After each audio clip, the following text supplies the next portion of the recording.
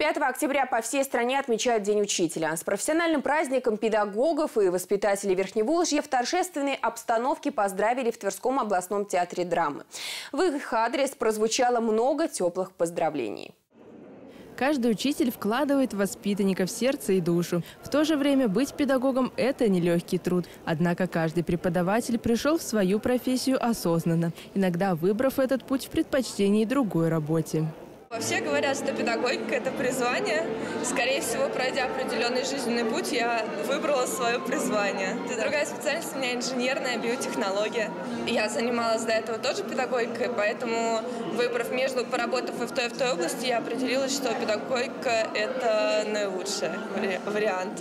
Многие преподаватели посвятили своей профессии не один десяток лет и гордятся успехами своих учеников. Наша школа принимает в соревнованиях э, детские Олимпийские игры в городе Москве, Москва.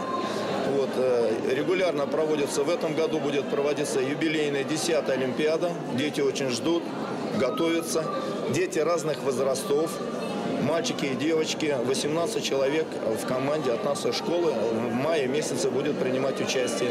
Нарядно одетые виновники торжества неспешно занимали места в зрительном зале. В этот день для них не было оценок, дневников и тетради, только цветы, подарки и слова благодарности. С профессиональным праздником учителей поздравил губернатор Тверской области Игорь Руденя. Дорогие наши учителя, вы если воспитываете и выполняете особую миссию и по отношению к нашим детям, и по отношению даже уже и к внукам, и вы не просто обучаете наших детей, нашу молодежь, а вы даете путевку в жизнь. Я хотел бы вам пожелать счастья, добра, радости, прилежных и благодарных воспитанников.